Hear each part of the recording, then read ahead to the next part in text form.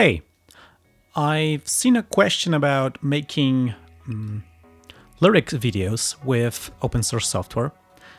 So I wanted to share some uh, ideas I've gathered around from making videos for my music. Um, so the first thing is uh, aligning your work to grid. And what I do is I generate a click track with Audacity. So open Audacity, go to generate, and then rhythm track. And here you need to know the tempo of your track. So if it's say 135 beats per minute, then you type it into the tempo. Then you need to specify how long the track needs to be. By default, it has a couple of bars, but if you set the bars to zero, it's gonna take the length into account. So just make sure this is longer than your track. For example, if your song is four minutes, make this four minutes, 30 seconds just to have a little bit of leeway. And that's it. Click OK, and now you have a click track.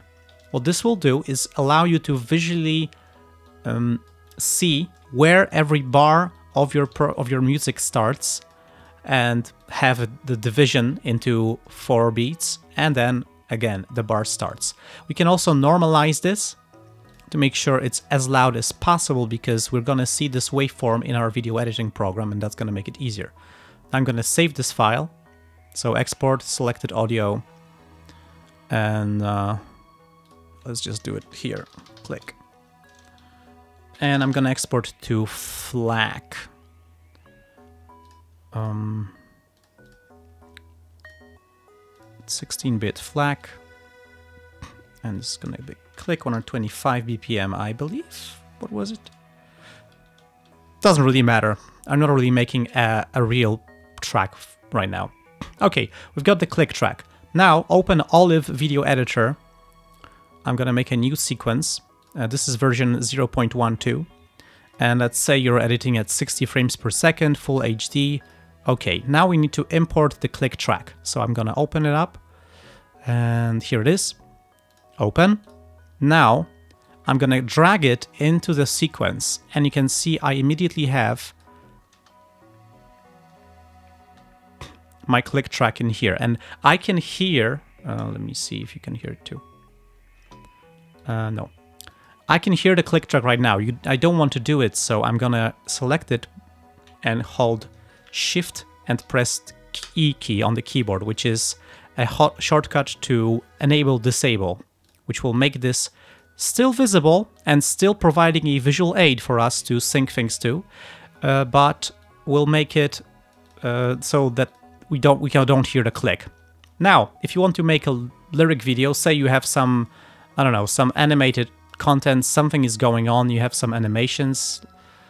Uh, that's our animation for, for here. And you want to add the lyrics.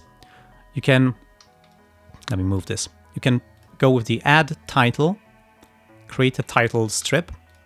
And now, the thing that Olive does is creates this rich text box, which I don't really like because it's hard to edit and it's a little buggy. So I'm going to delete that.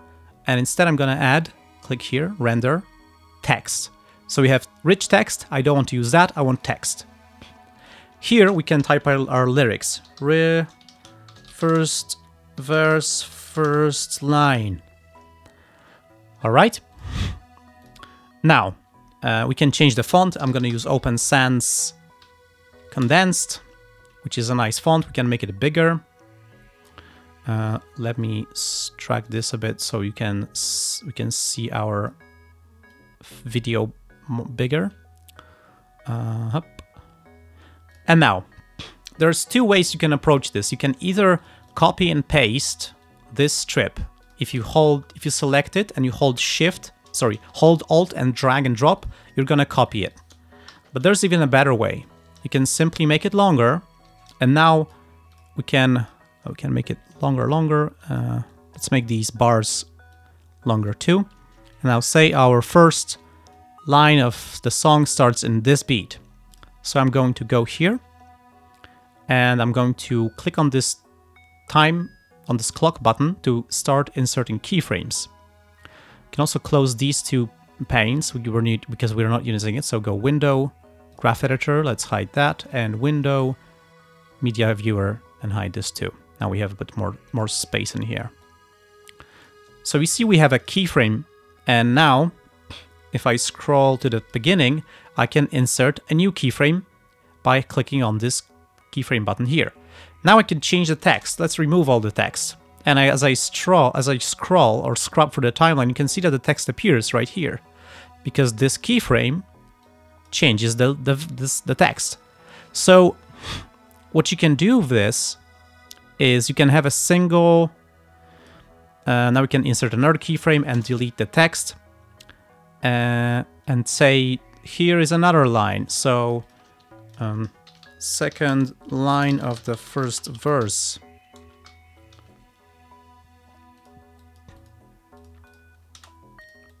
Right? And now first verse, second line, second verse, second verse.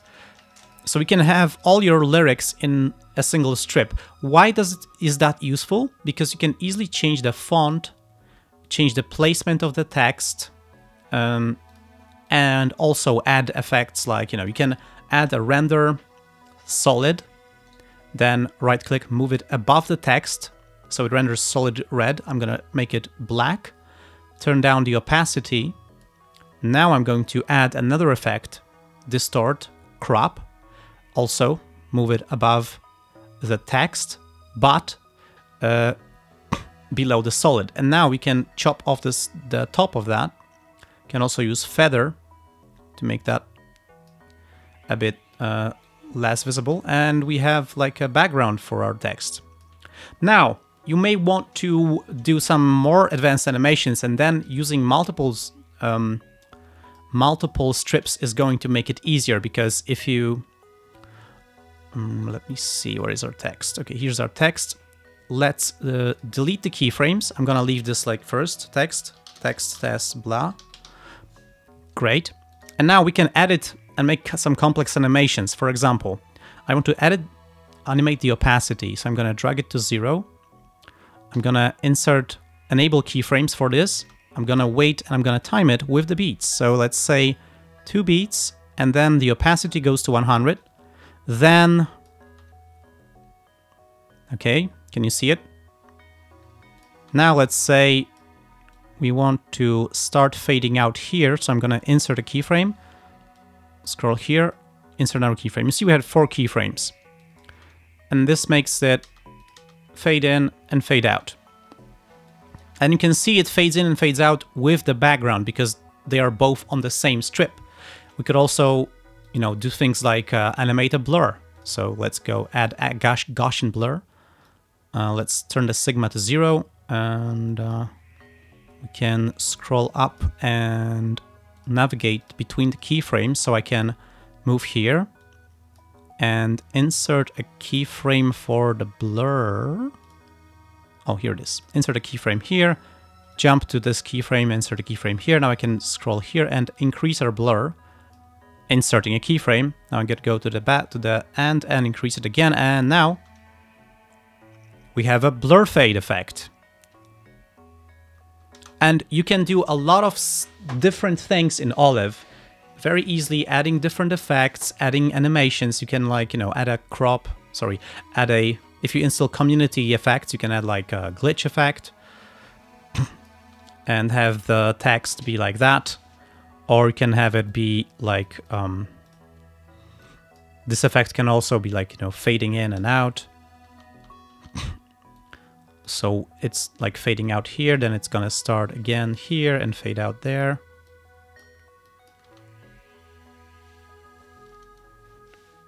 So you can see we can very easily make pretty complex things. And the great thing about that is if we just copy, so hold Alt, drag and drop, we can simply change the text here.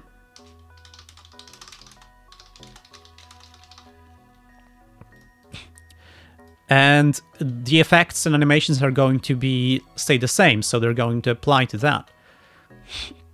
And the really great thing is that if you select both of these, so you just click and drag, we can actually change them again at the same time. We can change this font size and location.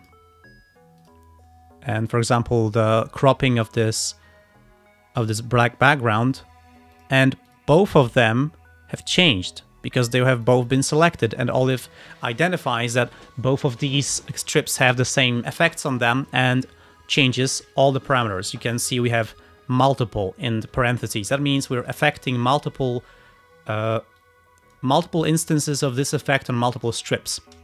So this way you can make your uh, your lyrics and you can animate them easily. Uh, yeah, and you can sync them to beat. So that is my short tutorial about making lyric videos and music videos in general. Very simple, very basic, nothing fancy. Um, hope you found that useful. Take care and I'll see you in a different video. Bye!